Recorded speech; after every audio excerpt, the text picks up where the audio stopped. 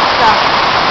Embaixo das águas, cachoeira, nos estressando, curtindo. É uma coisa.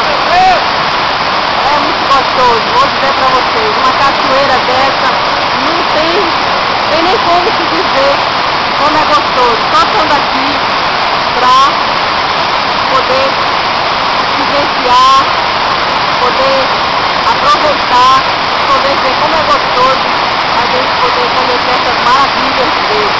Uma cachoeira como essa, muito bonita. E nós estamos aqui em Manaus, passeando, conhecendo mais esse lugar, para ficar registrado no nossa, no nosso currículo de 21 anos de casado.